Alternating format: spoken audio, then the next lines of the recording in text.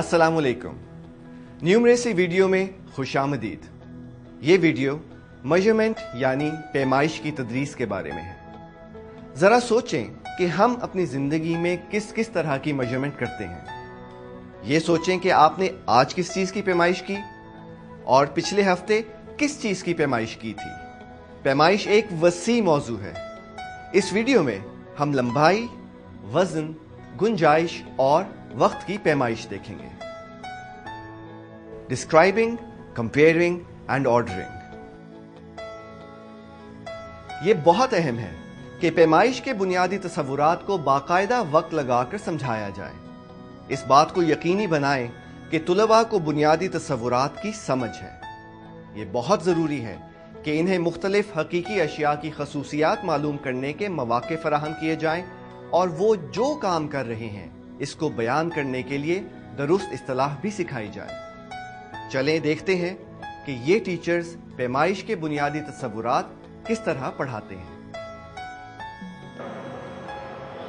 मुझे समझ नहीं आता कि रियल ऑब्जेक्ट्स के इस्तेमाल से हम बच्चों को पैमाइश का तस्वुर किस तरह सिखा सकते हैं। पैमाइश सीखने का पहला कदम इस बात को समझना है कि लोगों और अशिया में कुछ ऐसी खसूसियात होती हैं जिनकी हम पेमाइश कर सकते हैं। मिसाल के तौर पर कमरा जमात बड़ा है, मिस अवान लंबी है। मगर तलबा को बहुत जल्द इस बात का अंदाज़ा हो जाएगा कि किसी चीज़ को महज छोटा कह देना या बड़ा कह देना काफ़ी नहीं है। उन्हें इनका मवाजना करना भी आना चाहिए। जैसे कि, मेरा बस्ता तुम्हारे बस्ते से ज़्यादा भारी है। मिस अवान लंबी हैं, मगर मिस सलमा उनसे भी ज़्यादा लंबी हैं। और तलबा को उन चीज़ों को तरतीब देना भी आना चाहिए। मिसाल के तौर पर, मेरी पेंसिल लंबी है, फ़रा की पेंसिल इससे भी लंबी है, और सिदरा की पेंसिल सबसे ज़्यादा लंबी है। जी हाँ आप ठीक कह रही हैं। तमाम तालब इलमों को पैमाइश अमली तौर पर सीखने की ज़रूरत होती है। लेकिन हमेशा ऐसा नहीं होता कि आपके पास ज़रूरत की तमाम अशिया मौजूद हो और सबको मौका मिल सके। देखिए मैं क्या हूँ। जब किसी चीज़ को हम आसानी से उठा सकते हैं तो हम कहते हैं कि वो चीज़ हल्की है। यहाँ मेरे पास तीन हल्की चीज़ें हैं। एक, ये क्या है? बैलून। ये क्या है? प्लास्टिक की बॉल। और ये क्या है? क्रिकेट की बॉल। अब हमारे पास यहाँ पर तीनों, तीन चीज़ें मौजूद हैं जो तीनों हल्की हैं। आप लोग बता सकते हैं कि इनमें सबसे हल्की चीज़ कौन सी है? आप ग्रुप में इसको डिस्कस करें, फिर मैं आपसे इसके बारे में सवाल करती हूँ। हाँ जी, आप में से कौन बताएगा कि इनमें सबसे हल्की चीज़ कौन सी है? जी, आप बताइए। हाँ जी, ये गुब्बारा जो है, वो सबसे हल्का है। लेकिन आप में से कोई मुझे बता सकता है कि ये गुब्बारा सबसे हल्का क्यों है? आप बताइए। तो में हाँ जी, इसको छोड़ेंगे तो ये हवा में उड़ जाएगा। अब मेरे पास यहाँ पर दो बॉल्स हैं, एक प्लास्टिक की बॉल और दूसरी क्रिकेट की बॉल क्या आप मुझे इसका मुआजना करके बता सकते हैं कि इनमें से कौन सी हल्की है? बच्चे, आप यहाँ पर आइए और मुझे अपने हाथों में उठाकर बताएँ कि कौन सी हल्की है। क्या बता सकती हैं इसमें से कौन सी हल्की है? प्लास्टिक बॉल अच्छा जी, इन्होंने कहा कि इन दोनों में प्लास्टिक की बॉल जो है वो हल्की है। अब हम इन तीनों चीज़ों का मुआजना करेंगे और उसके लिए मैं आपको क्लास में इन सबको पास करूँगी। फिर हम डिस्कस करेंगे कि इनमें सबसे हल्की चीज़ कौन सी है। ये लीजिए आप और सबको पास करते जाइए। ये लीजिए, हर एक को उठा के देखें कि इनमें सबसे हल्की कौन सी है और फिर आप मुझे बताएँगे। पीछे दे दें। उठा के देखें और पता चल रहा है कौन सी हल्की है?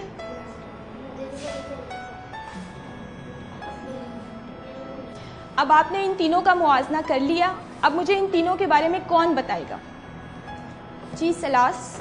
क्रिकेट की बॉल हल्की है प्लास्टिक की बॉल से हल्की है और ब्लोन सबसे हल्का है। हाँ जी बिल्कुल। वेरी गुड बैठ जाइए। इन तीनों में क्रिकेट की गेंद हल्की है प्लास्टिक की बॉल उससे हल्की है और ये गुब्बारा सबसे हल्का है। लंबाई और वज़न के मुकाबले में गुंजाइश को समझाना ज़रा सा मुश्किल होता है। इसके लिए तलबा को बहुत ज़्यादा अमली तजर्बात की ज़रूरत होती है ताकि वो मुख्तलिफ़ इश्काल की चीज़ों की में गुंजाइश का मवाजना करना सीख सकें। ये मैं कैसे करूँगी? आप ऐसा करो कि मुख्तलिफ़ इश्काल और मुख्तलिफ़ साइज़ के बर्तन जमाओ और दालें पानी रेत चावल या कोई भी पिलर इस्तेमाल करके बच्चों को छोटे ग्रुप्स में डिवाइड करें और उन्हें इन बर्तनों की गुंजाइश मालूम करने का कहें और फिर तलबा से ही इन बर्तनों को तरतीब भी दिलवाएँ। शुक्रिया। अब मुझे बेहतर समझ आ गया है। Non standard and standard units of मयूर तुलबा से अगर ये पूछा जाए कि तुम्हारी पेंसिल मेरी पेंसिल से कितनी लंबी है तो उन्हें किस किस्म की पैमाइश की इकाई की ज़रूरत पड़ती है? पहले तुलबा को पैमाइश की गैर मयारी इकाइयाँ समझाएँ। ये आम सी चीज़ें होती हैं जिन्हें तुलबा जानते हैं और आसानी से दस्तयाब होती हैं। मिसाल के तौर पर, लंबाई के लिए कदम और गुंजाइश के लिए कप। उन्हें ऐसे मौाक़े फराहम करें कि वो इस किस्म की गैर मयारी इकाइयों से पैमाइश करें। गैर मयारी इकाइयों के इस्तेमाल से आप पैमाइश के मुतालिक ज़्यादातर उसूल मुतारिफ करवा सकते हैं। इकाइयों के टोटल नंबर गिनकर आप मकदार बता सकते हैं। याद रखिए, पैमाइश की सरगर्मी के दौरान अकाई तब्दील ना कीजिए। यह भी याद रखिए कि पैमाइश के लिए मुनासिब इकाई मुंतखब कीजिए। मिसाल के तौर पर, कमरे की लंबाई बालिश्तों से नापी जा सकती है, मगर कदम इसके लिए मुनासिब इकाई है। तुलबा को आम तौर पर दस्तयाब गैर मयारी पैमाने इस्तेमाल करने के मौाक़े फराहम कीजिए। पैमाइश के असूल मुतारफ़ करवाने के लिए गैर मयारी पैमाने इस्तेमाल कीजिए। इकाइयों का टोटल नंबर गिनकर मकदार बयान कीजिए। पैमाइश के दौरान इकाइयों को आपस में ना मिलाइए। एक मुनासिब इकाई का इंतखाब कीजिए।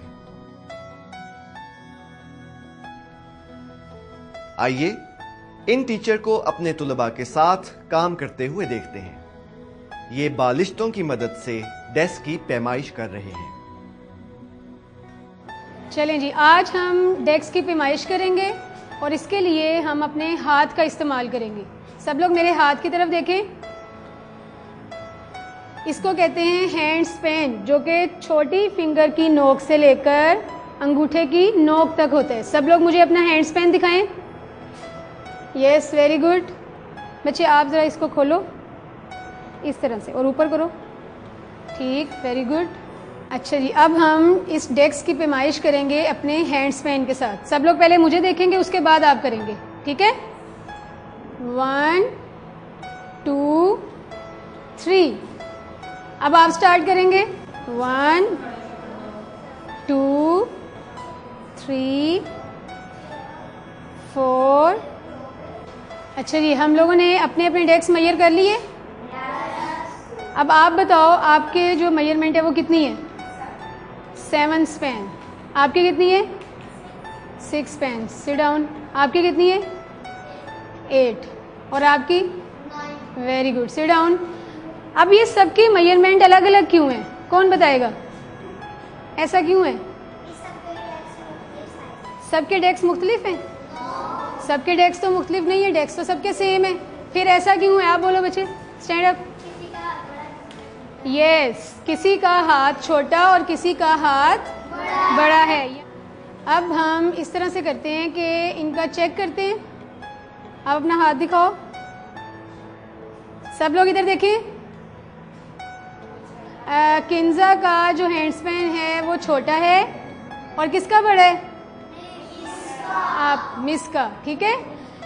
अब ये जो डिफरेंस है हैंडस्पैन का, किसी का छोटा है और किसी का बड़ा है, इस फ़र्क की वजह से हम लोग यूज़ करते हैं स्टैंडर्ड यूनिट्स क्या यूज़ करते हैं? स्टैंडर्ड यूनिट्स यानी सेंटीमीटर मीटर मिलीमीटर ओके हमने इस क्लिप में देखा कि तुलबा को गैर मयारी तरीकों से पैमाइश करने के मौाक़े देने की क्या अहमियत है। इसकी मदद से वो मयारी इकाइयों की अहमियत भी आसानी से समझ जाते हैं। पैमाइश की बुनियादी इकाइयों के नाम। पैमाइश की हर किस्म की एक बुनियादी इकाई होती है। मिसाल के तौर पर, लंबाई की बुनियादी इकाई मीटर है। आपके पास कमरा जमात में कम से कम एक मीटर रॉड होनी चाहिए। और अगर नहीं है तो बना लीजिए। आपके पास वज़न करने के लिए एक तराजू, कुछ चमचे और गुंजाइश नापने के लिए कुछ पैमाइशी सिलेंडर भी होने चाहिए। वीडियो को थोड़ी देर के लिए पॉज करें और अपने साथ बैठे हुए टीचर के साथ डिस्कस करें कि गुंजाइश और वज़न की बुनियादी इकाइयाँ क्या है। जब आप तैयार हों तो इस वीडियो को दोबारा चलाएँ। गुंजाइश और वज़न की बुनियादी इकाइयाँ क्या है?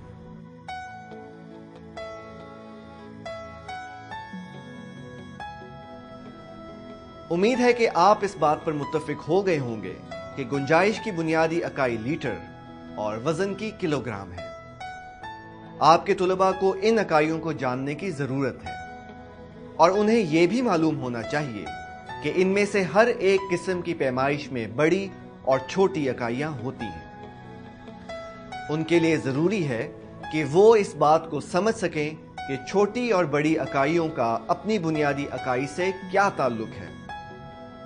इसके अलावा उन्हें मुखफ़ के बारे में भी मालूम होना चाहिए। लंबाई की म्यारी इकाई मीटर है और इसका मुखफ़ एम है। लंबाई की छोटी या बड़ी इकाइयाँ बनाने के लिए इसके साथ प्रीफिक्स मिलाए जाते हैं। वैसे तो ये बहुत सारे हैं, लेकिन फ़िलहाल चंद हमारे लिए ज़्यादा अहम हैं। किलो एक प्रीफिक्स है, जिसको मीटर के साथ मिलाया जाता है। जब आप मीटर के साथ इसको मिलाते हैं तो ये किलोमीटर बन जाता है। एक किलोमीटर, मीटर से हज़ार गुना लंबा होता है और इसका मुखफ़ है के एम। वो इकाइयाँ जो मीटर से छोटी होती हैं, उनके साथ जो हम प्रीफिक्स लगाते हैं, वो है सेंटी। मीटर के साथ मिलकर ये सेंटीमीटर बनता है। एक मीटर में 100 सेंटीमीटर होते हैं और इसका मुखफ़ है सी एम। आखिर में प्रीफिक्स है मिली, जो मीटर के साथ मिलकर मिलीमीटर बनता है। एक मिलीमीटर एक मीटर से हज़ार गुना छोटा होता है और इसका मुखफ़ है एम एम। ये इतना छोटा होता है जितना एक सुई की चौड़ाई। मैं यहाँ आपको दिखाऊँगा कि ये मैं कैसे मालूम करता हूँ कि मेरे स्टूडेंट्स को स्टैंडर्ड यूनिट्स का इस्तेमाल आ गया है और मैं कैसे उनकी मदद करता हूँ। ओके स्टूडेंट्स यहाँ बोर्ड के ऊपर मैंने कुछ जुमले लिखे हैं। ये जुमले नामुकम्मल हैं। क्या आप इनको पढ़ सकते हैं? Yes. पहला जुमला पढ़िएगा।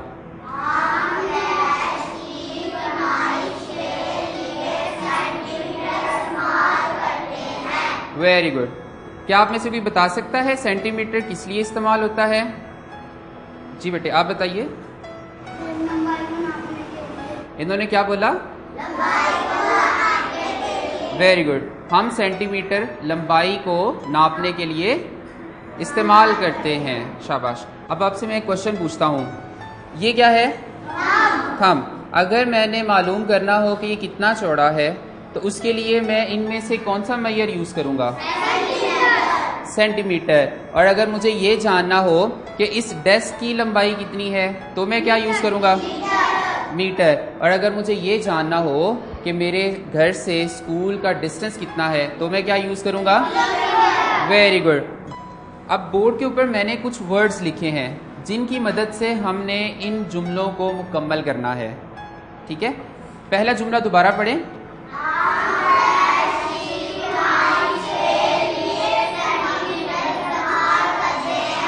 वेरी गुड अब हमारे पास कुछ वर्ड हैं, जैसा कि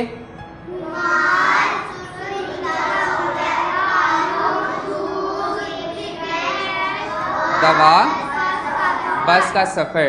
तो बेटे, आप में से कौन बताएगा कि फ़र्स्ट सेंटेंस में कौन सा वर्ड आएगा? आप बताएँ बेटे। वेरी गुड इसमें क्या आएगा? रुमाल।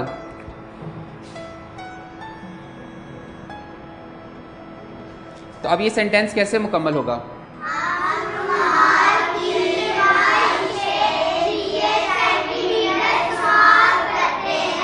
शाबाश वेरी गुड अब दूसरा जुमला है, हम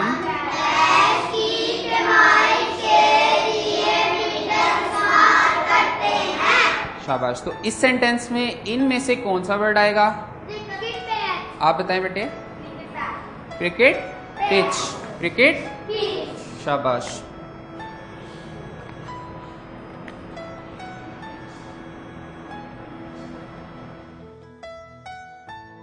अबारती सवालात हल करना। तुलबा को पैमाइश पर मबनी अबारती सवालात हल करने में कुछ दुश्वारी हो सकती है। आइए देखते हैं कि टीचर इस मसले को कैसे सुलझाते हैं। पिछली बार जब मैंने वर्ड प्रॉब्लम्स को हल करने की कोशिश की तो मेरे स्टूडेंट्स उलझन का शिकार हो गए। उन्हें समझ नहीं आ रही थी कि इन आदात को जमा किया जाए, तफरी किया जाए, या इनके साथ क्या किया जाए। फिर मैंने अपने एओ के साथ डिस्कशन की, कुछ लेसन प्लान्स देखे, और फिर मैं अपने स्टूडेंट्स की मदद के लिए मैंने ये स्ट्रेटेजी अपनाई। बच्चों, मैं आज आपसे एक बहुत अच्छा क्वेश्चन करूँगी। आप सबने इसे गौर से सुनना है। फिर मैंने आप सबसे उसमें से क्वेश्चनिंग करनी है। एक बच्चा है, उसका नाम है अली। उसने तीन लीटर पानी पिया है। कितने लीटर पानी पिया है? तीन। और एक बच्ची है, उसका नाम है सना। उसने पाँच लीटर पानी पिया है। कितना पानी पिया है? अब गौर से सुनिएगा, आप लोगों ने ग्रुप की शक्ल में पहले आपस में डिस्कशन करना है। फिर आपने मुझे बताना है कि दोनों ने टोटल मिला के कितना पानी पिया। एक तो आपने ये क्वेश्चन बताना है और सेकंड आप लोगों ने ये बताना है कि आप लोगों को कैसे पता चला कि आपने इसे एडिशन किया है सब्ट्रैक्शन किया है या क्या किया है? चलें, आपका टाइम स्टार्ट हो रहा है, पहले आप लोग डिस्कस कर लें आपस में।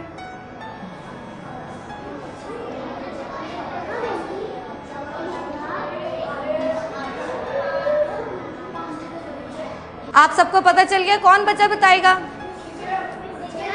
आप बताएँ बाकी बच्चे अपना नीचे हाथ करें। शाबाश क्या किया? टोटल कितना लीटर पानी पिया? एट लीटर इसका आंसर सही है? गुड सिट डाउन अब दूसरा बच्चा कौन बताएगा कि कैसे पता चला आप लोगों को कि आपने क्या किया इसे? तफरी किया जमा किया एडिशन किया क्या किया आप बताओ बैठ जाओ बेटा। प्लस किया कैसे पता चला आपको?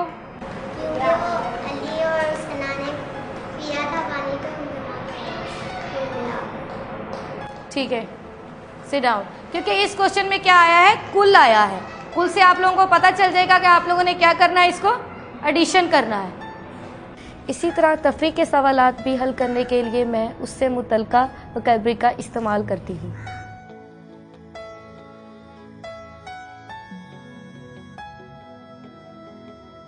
घड़ी से वक्त पढ़ना और लिखना।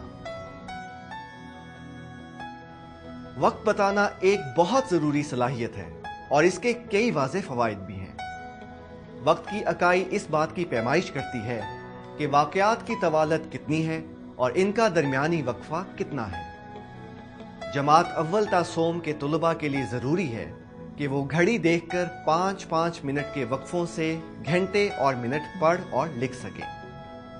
तुलबा के लिए ये खासा मुश्किल है। आइए इन टीचर की गुफ्तगु सुनते हैं कि वो अपने तुलबा को वक्त बताना कैसे पढ़ाते हैं। वक्त बताने के इम्तिहान में मेरे तुलबा की कारकर्दगी कुछ अच्छी ना थी। फिर मैंने सोचा कि मैं क्या कर सकता हूँ, क्योंकि मेरे पास तो क्लास में घड़ी भी मौजूद नहीं है। फिर मेरे एईओ ने मुझे एक वीडियो क्लिप दिखाया, जिसमें बताया गया था कि वक्त को कैसे पढ़ाया जा सकता है और इसको तलबा को कैसे सिखाया जा सकता है। इस वीडियो से मुझे बहुत मदद हासिल हुई। आप भी सबक को ऐसे पढ़ा सकते हैं।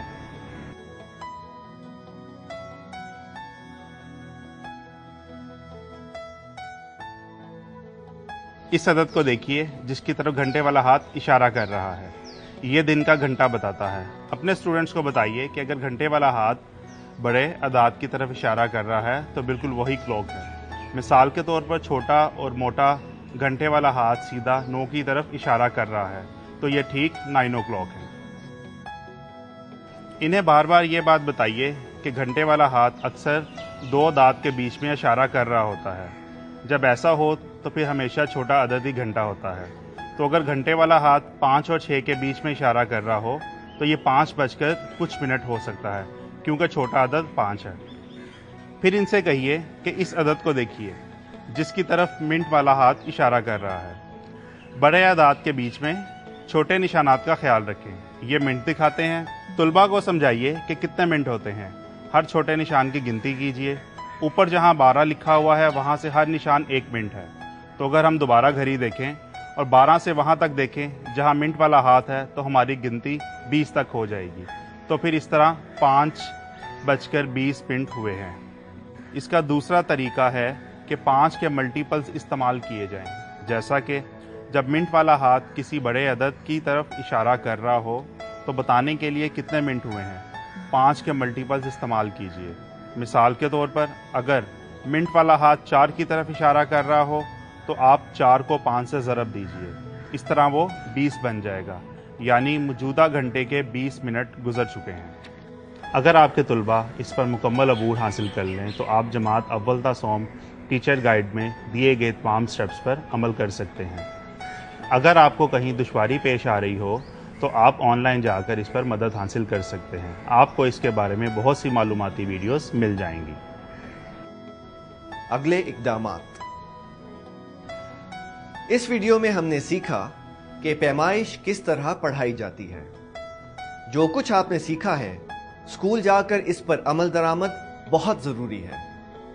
आपने गौर किया होगा कि इस वीडियो में दो टीचर्स ने ग्रुप में बातचीत के नहायत दिलचस्प तरीके इस्तेमाल किए, जिनका मकसद ये था कि तलबा ये सोचें कि वो क्या कर रहे हैं।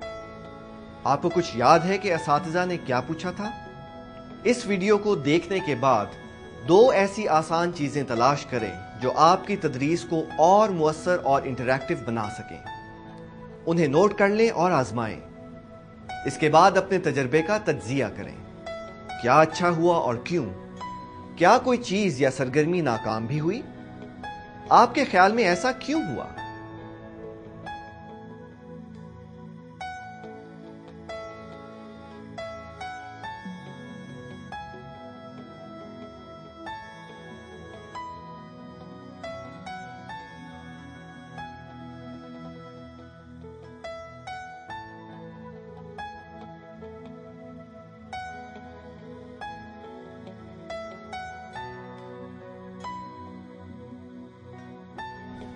हमें उम्मीद है कि आप इस वीडियो से सीखी गई तदरीसी सरगर्मियों को इस्तेमाल करेंगे और अपने तलबा की न्यूमरेसी स्किल्स को बेहतर बनाने के लिए बाकायदा कोशिशें जारी रखेंगे।